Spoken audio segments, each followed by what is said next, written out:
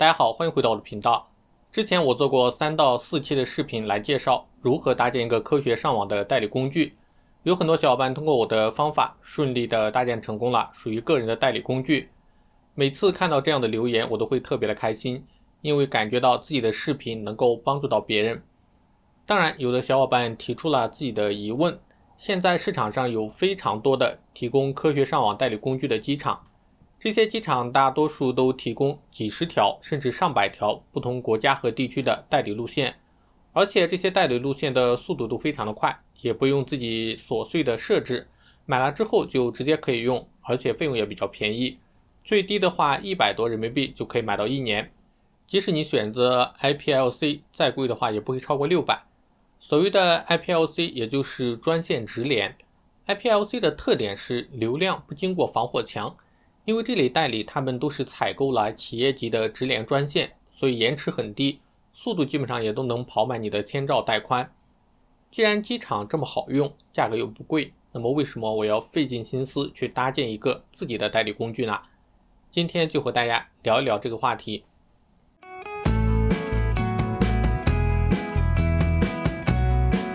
最开始接触代理工具是在上大学的时候。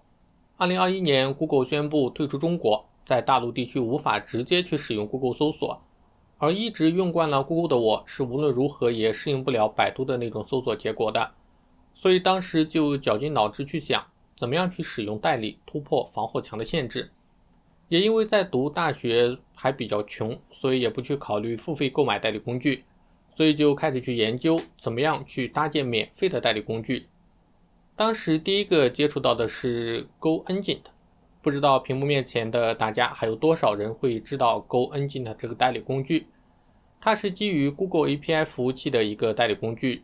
我记得当时这个代理工具搭建成功之后，它的访问速度只有每秒几十 KB，最多的时候也就到两三百 KB。那个时代大家去代理出去，更多的也就是用 Google 搜索、推特和 Facebook 这些应用。视频内容还没有像现在这么普及，所以这点网速也完全够用。我整个大学期间就是靠 Go Engine 自己搭建的这根小水管来接触到外面的世界。到了2015年，Go Engine 的开发者被迫删除了项目，我也逐渐的开始停止使用这个工具。再加上工作之后有了自己的收入，可以购买更加稳定的付费代理服务。付费代理的优势非常明显。我还记得当初第一次购买代理打开之后，我就感觉到快。另外，服务器也不用自己去维护，只用把代理商提供的代理链接粘贴到代理客户端就可以直接使用。后来有了看国外高清视频的需求，比如 YouTube 开始提供 4K 视频内容，奈飞上有大量的 4K 资源。然而之前我购买的代理的速度，在 4K 视频面前已经开始捉襟见肘了。打开一个视频往往要加载很久，所以说我又开始了解到 IPLC 专线直连这种代理服务。虽然价格比普通的代理要贵上近一倍，但我还是去尝试了一下，体验的效果大大超出我的预期。不仅访问速度更快，打开 4K 视频基本都是秒开的，而且因为服务器是不经过防火墙的，所以即使在像国庆节这样的敏感时期，服务依然不会受到干扰。一直都是稳定运行，所以在二零一五到二零一九这四年的时间内，我一直都是使用付费的代理服务工具。直到二零一九年底，我才开始去研究如何搭建个人的代理服务工具。为什么我会有这样的需求呢？原因是在二零一九年底的时候，我开始准备办理美国的境外银行。我办理美国银行的原因很简单，就是为了炒美股。早在二零一八年的时候，我还可以通过国内的农业银行和建设银行。成功向盈透证券直接汇款入金，速度还比较快，三个工作日就到账了。但是到二零一九年的时候，外汇政策就开始收紧。当我再次有美股入金的需求，通过农业银行向盈透证券汇款的时候，就直接接到了银行的电话，说国外的投资机构没有办法去汇款的。所以在这个时候，我才意识到需要去开通办理一个美国的银行账户。刚好在差不多二零一九年这个时间段。华美银行旗下的 Velo 开始在中国推广业务，所以就抱着试一试的心态申请了 Velo 账户。账户基本上是秒开了，开户成功之后，又通过国内的建设银行成功的入金，然后绑定美国的券商账户。如果你使用的是德美利证券，通过 ACH 可以实现资金在半个小时内就入到券商的账户。这个体验基本上赶上国内银证转账的速度了。然而，美好的事情往往是比较短暂的。正因为 Velo 极低的开户门槛，造成了短时间内有大量的中国大陆人去申请开户。也因为 Velo 的开户身份验证形同虚设，所以就造成了大量虚假开户。另外，由于短期内太多的国内资金汇到 Velo 的账户，引起了国内监管的注意，所以国内银行对于 Velo 的汇款路由进行了封锁。目前已经没有办法直接从国内银行汇款到 Velo 的账户，而 Velo 也加强了风控，比如我自己的账户就在2020年被关闭，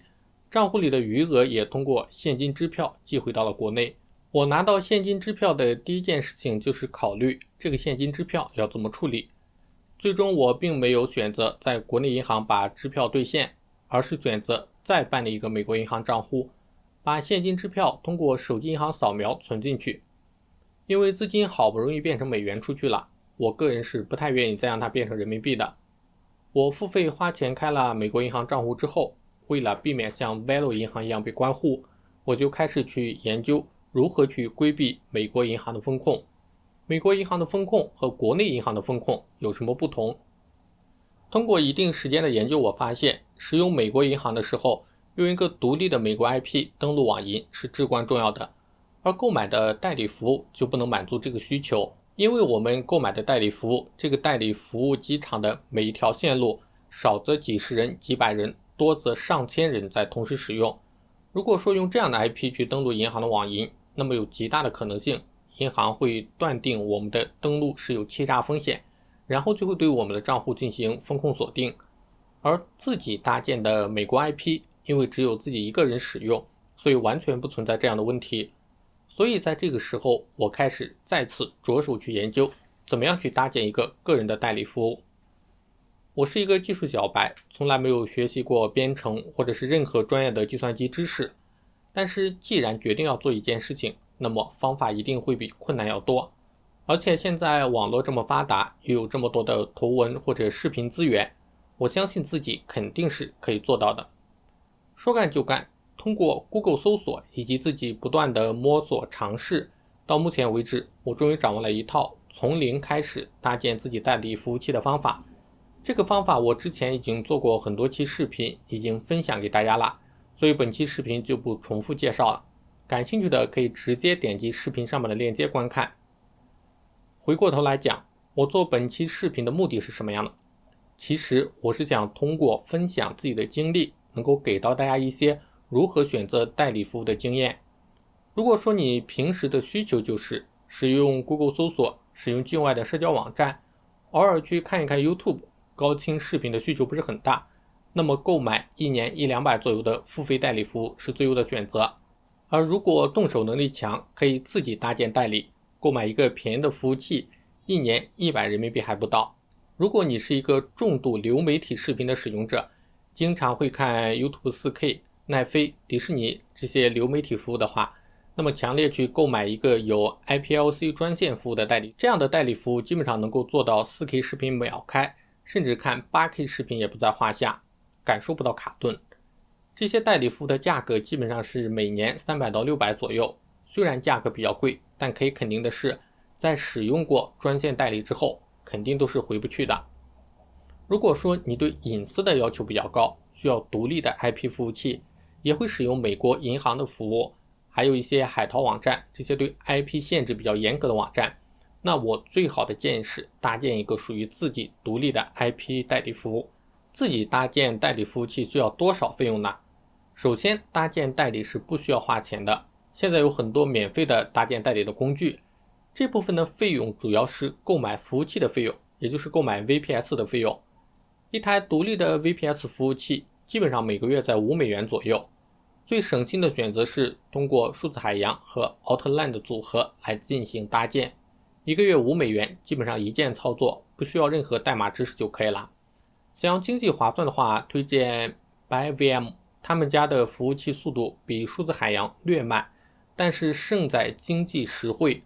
五百一十二兆内存的小机，每个月只需要二点五美元，折合下来一年只要九十八人民币。而且这个服务器是没有流量限制的，数字海洋每个月有一 TB 的流量限制，超过就需要额外付费。我目前使用的一个组合是一条自己搭建的代理服务器，平时自己上网用，或者说使用美国的银行账户登录用，一般都是用自己搭建的代理，基本上也能跑满带宽。最主要的是自己搭建，独立 IP，安全隐私上有保证。另外，我也购买了 IPLC 代理服务，主要是看境外的流媒体用。虽然价格比较贵，但是体验非常的好。毫不夸张的说，看了境外的 4K 流媒体之后，你就会发现，国内的所谓的蓝光和 4K 基本上都是骗人的。用 IPLC 代理服务还有一个重要的因素就是，目前我的频道视频已经全部升级到了 4K，一个十分钟的视频大小基本在三到五 G 左右。在上传视频的时候，对速度的要求也大幅提高。用普通的代理可能需要半个多小时才能传好视频，IPLC 路线基本上能够跑满上行和下行带宽，每期视频基本十分钟以内就可以上传完成，效率的提升非常明显。以上就是本期视频我想要和大家分享的内容，希望能够在选择代理方面对大家有所帮助。如果大家有什么疑问，欢迎在视频下面给我留言，我看到会第一时间回复大家。如果觉得本期视频还不错的话，欢迎点赞、订阅、加分享，几乎对我有非常大的帮助，也会鼓励我做更多的视频，帮到更多的人。那我们下期再见。